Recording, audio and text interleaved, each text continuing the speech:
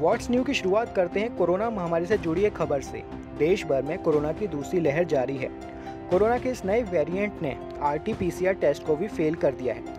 इसी वजह से मरीजों को अब सीटी स्कैन कराने की सलाह दी जा रही है। लेकिन जैसे आपको पता ही है कि सीटी स्कैन जहाँ काफ़ी महँगा है तो वहीं ग्रामीण इलाकों में इसकी पहुँच ना के बराबर है, जिसकी वजह से कोरोना के इलाज में देरी हो रही है। लेकिन अब टेस्टिंग को लेकर एक खुशखबरी सामने आई है। जी हाँ दरअसल defence research and development organisation, यानी डीआरडीओ और centre for artificial intelligence and robotics ने कोविड 19 के मरीजों के बारे में जानने के लिए एक आर्टिफिशियल इंटेलिजेंस को डेवलप किया है, जिससे ये पता लगाया जा सकता है कि व्यक्ति कोविड 19 से पीड़ित है या नहीं। इस एआई का यूज़ एक्सरे स्क्रीनिंग के लिए किया जाएगा। आपको बताते चलें कि इसका एक्यूरेसी रेट छियानवे दशमलव सात तीन फ़ीसदी बताया गया है। तो अब जहाँ कोविड के मरीजों को पता जल्दी लगाया जा सकेगा, साथ ही मरीजों के लिए ये सस्ता और किफ़ायती टेस्ट रहेगा।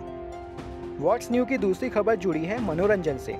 नेटफ्लिक्स अपने यूज़र्स के लिए हमेशा नए नए कंटेंट लाता रहता है। ऐसे में जब लॉकडाउन की वजह से सभी शो और फ़िल्मों की शूटिंग रुकी हुई है तो नेटफ्लिक्स के पास अब ज़्यादा दिखाने के लिए कुछ रहा नहीं। ऐसे में यूज़र्स को बनाए रखने के लिए कंपनी एन प्लस सब्सक्रिप्शन लाने जा रही है, जिसमें यूज़र्स अब आसानी से मूवी और शो के बिहाइंड द सीन्स देख पाएँगे।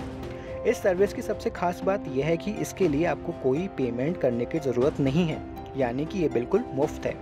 अगर वहीं कंटेंट की बात करें तो आपको टेक्स्ट इमेज वीडियो फ़ीड तो मिलेगी ही मिलेगी। साथ ही आप न्यूज़ इंटरव्यू ऑडियंस कन्वर्सेशन और पॉडकास्ट के लिए भी साइन अप कर सकते हैं। अब बात तीसरी खबर की। यूज़र्स के एक्सपीरियंस को बेहतर बनाने के लिए इंस्टेंट मैसेजिंग ऐप व्हाट्सएप आए दिन नए फीचर्स पेश करता रहता है। ऐसे ही नया फीचर जल्दी आपको मिलने वाला है। दरअसल अब आप व्हाट्सएप में ही इंस्टाग्राम रील्स देख सकेंगे। इसके लिए व्हाट्सएप ने टेस्टिंग भी शुरू कर दी है। मीडिया रिपोर्ट के अनुसार आने वाले समय में आपको ऐप में अलग से एक टैब नज़र आएगा, जिस पर क्लिक करते ही इंस्टाग्राम रील्स की वीडियो प्ले होना शुरू हो जाएँगी। रिपोर्ट में ये भी खुलासा किया गया है कि इस नए फीचर को यूज़र्स के लिए जल्द ही रोल आउट किया जाएगा।